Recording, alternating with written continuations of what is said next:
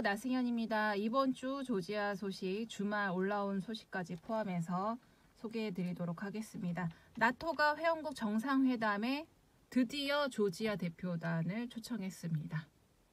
어, 조지아로서는 굉장히 그 큰 성과이자 또 이렇게 매우 반색을 표시하고 있는데 글쎄요 어떻게 될까요? 29일부터 30일 스페인 마드리드에서 개최되는 나토 회원국 정상회담에 조지아 관료들이 지금 초청이 됐습니다. 조지아로서는 지금 나토의 연대와 긴밀한 동반자 관계를 증명하는 것이다. 이렇게 어, 뜻을 풀이하고 있는데요.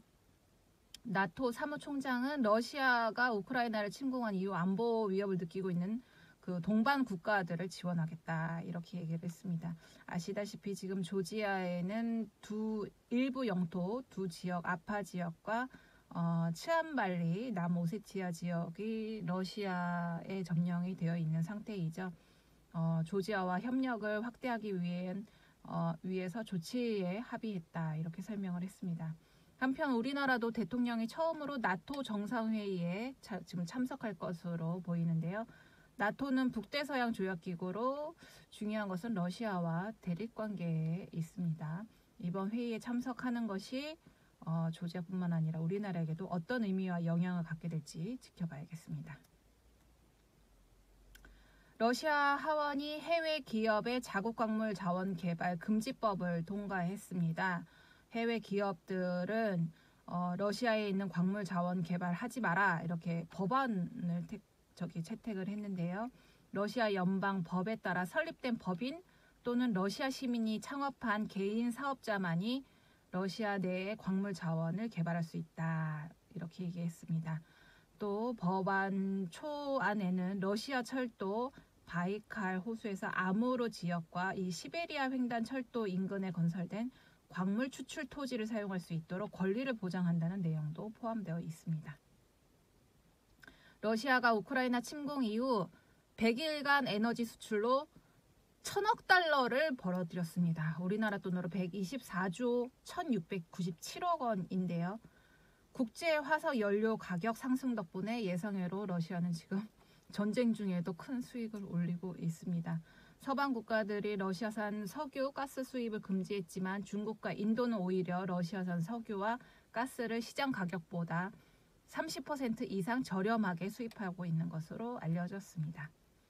지금 약 40년 만에 역대급 인플레이션이 찾아왔다. 이런 얘기들이 지금 국내 뉴스에서도 계속 나오고 있는데 어, 요 중앙아시아, 유라시아 각 지역의 인플레이션 전망도 속속 나오고 있습니다. 조지아와 코카서스 3국에 속해 있는 아르메니아 중앙은행은 어, 앞으로 1년간 인플레이션이 점진적으로 좀 진정되지 않을까 이렇게 전망을 하고 있고 카자흐스탄 국립은행은 올해 연말까지는 인플레이션이 지속될 것이다. 그것은 13%에서 15% 정도 달할 것이다. 이렇게 전망했습니다. 한편 러시아는 어, 인플레이션이 지금 완화되고 있다. 그래서 기준금리까지 지금 음, 인하를 하고 있습니다. 인플레이션이 빠르게 둔화되고 경기 침체의 정도가 약한 것으로 나타나 기준금리를 인하하겠다고 설명을 했습니다. 요즘에 이 중앙아시아의 스탄, 일명 스탄 국가들이 자주 언급되고 있고 저도 소개를 해드리고 있는데요. 그 키르기스스탄, 키르기스스탄, 스스가 두 개 있습니다. 어, 이곳에 지금 한국 투자자들이 방문을 했습니다. 환경노도위원회, 한국노동위원회, 한국수자원공사 이사진이 키르기스스탄 이식쿨 지역의 그 smart city 프로젝트 건설을 위해서 방문을 했는데요. 29 지역은 어 그 이 지역 이 나라의 동부에 위치해 있고 인구 50만 명이 거주하고 있고 그다음에 가장 유명한 관광지 이식쿨 호수가 있는 지역입니다. 일명 요즘에 그 KCT 네트워크 smart city를 만들겠다 이건데요. 키르기스탄 국가투자청 역시 아주 적극적으로 어, 반영을 하고 있습니다. 그리고 이 지역 발전을 위해서 한, 한국뿐만 아니라 여러 해외 투자까지 받겠다 이런 얘기를 하고 있고요. 하지만 환경운동가와 이런 쪽에서는 굉장히 반대 우려를 표하고 있습니다. 생태계가 파괴될 것이다 이렇게 얘기를 하고 있네요. 그리고 타지키스탄 그 동부에 있는 소수민족 자치구에서 범죄 지도자 두 명이 지금 사살됐습니다. 어, 먼저 그 인도를 하려고 했지만 그 소환을 하려고 했지만 거부를 했기 때문에 사살했다 이렇게 얘기를 했는데요. 그 작년부터 이어지고 있죠. 작년 11월부터 중앙 정부가 이 고로노 바닥시안 자치주에서 소수민족을 강경 진압한 이후에 이 중앙 정부와 고로노 바닥시안 자치구 간의 갈등이 지금 심화되고 있습니다. 이 과정에서 지금 범죄 지도자로 보고 있는 두 명이 사살된 것입니다.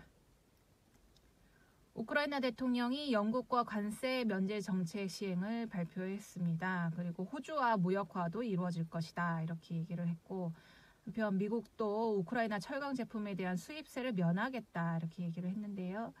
우크라이나 대통령은 우크라이나에 대한 지지를 보내준 나라에게 감사를 표시하면서 스위스, 노르웨이, 리텐슈타인 등 국가들에게도 무역 자유와의 동참의 뜻을 밝혔다. 이렇게 얘기했습니다.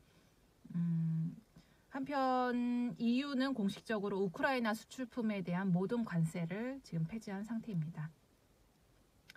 투르크메니스탄 대통령이 러시아 대통령 과 단독 회담을 했습니다. 어, 이 투르크메니스탄은 어느 쪽이냐면 조지아에서 이쪽 더 동쪽이고 카스피해를 인접해 있습니다.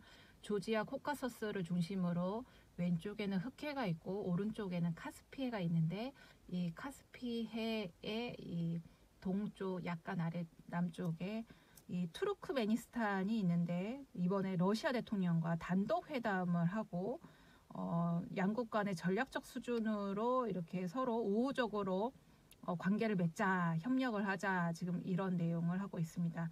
특히 이 지금 투자, 산업, 운송, 에너지, 농업, 농업 분야에서 협력할 수 있다 이렇게 얘기를 했는데요. 카스피해에서도 협력을 지속하겠다. 카스피해는 아시아 북서부 유럽 사이에 있는 내륙 호수로 조지아 동쪽에 있다고 말씀드렸죠. 이제 이 카스피해를 중심으로 또 어떤 양상이 펼쳐질지 또 이렇게 어, 이 투르메니스탄이 또 이렇게 뛰어들었네요. 한편 러시아 외교부 장관이 또 터키를 또 이렇게 감싸고 있습니다. 시리아 국경 지역에서의 위협에 대한 터키의 우려를 이해한다. 그리고서는 이런 어, 불안정한 것들은 어, 미국 시리아에 체류 중인 미국 단체가 분리주의 감정을 유발하고 있기 때문이다. 그래서 외부 세력이 터키의 위협을 조장하고 있다. 이렇게 지적을 했습니다. 러시아는 지금 카스피에 흑해, 터키도 이렇게 흑해 아래쪽에 있는 지역이죠. 어, 이렇게 카스피해와 흑해 주변을 둘러싸고 있는 국가들과 협력 아니면 전쟁 이렇게 양극단을 달리고 있습니다. 어, 이제 좀 분위기를 바꿔서 조지아 어, 관광하기 너무 좋은 곳이죠. 이제 조금 더 안정이 되면 조지아는 정말 매력적인 어, 나라가 될 것입니다. 특히 이제 우리나라도 음, 좀 안정이 되면 그 2020년경에 직항이 놓여질 것이다. 이렇게 굉장히 적극적으로 고 추진이 됐었는데 코로나 때문에 잠시 중단이 됐죠. 근데 포르투갈에서도 아주 대대적으로 조지아를 지금 홍보를 하고 있습니다. 조지아에는 그, 그 조지아 어, 서쪽 그 수도에서 서쪽에 쿠타이시 지역이 있습니다. 여기에는 그 굉장히 매력적인 협곡 두 개가 있는데 마트빌리 캐년과 오카체 협곡이 있습니다. 이 포르투갈 관광 음, 관광 어디죠? 아 언론에서 얘기를 했군요. 이 두 협곡은 숨이 막힐 정도로 아름답다. 자연의 기념물이다. 이렇게 대대적으로 그 한 면을 넘게 소개를 했다고 하는데요. 두 협곡은 쿠타이시 조지아 서부 쪽에 위치해 있고 협곡은 풍경이 아름답고 1년 내내 그 풍경이 달라진다고 합니다. 그리고 포르투갈 그 언론이 건 슬로건은 이랬습니다. 당신은 집에서처럼 조지아에서 쉬게 될 것입니다. 조지아는 사람, 풍경 및 자연으로 구별됩니다. 조, 조지아와 포르투갈에는 많은 유사점, 전통 및 가치가 있습니다. 이렇게 아주 칭찬 일색을 했습니다. 이제 여름이 오고 또 이렇게 크리스마스 때는 유럽 사람들이 굉장히 많이 가는 곳인데요. 점점 관광이 활성화되면 어, 조지아는 더욱더 각광을 받을 것 같습니다. 저도 어, 오랜만에 좀 가보고 싶습니다. 내년 여름 아니면 올 겨울에도 좋을 것 같죠. 한 주 또 잘 보내시고요. 다음 주에 또 소식 전해드리겠습니다. 고맙습니다.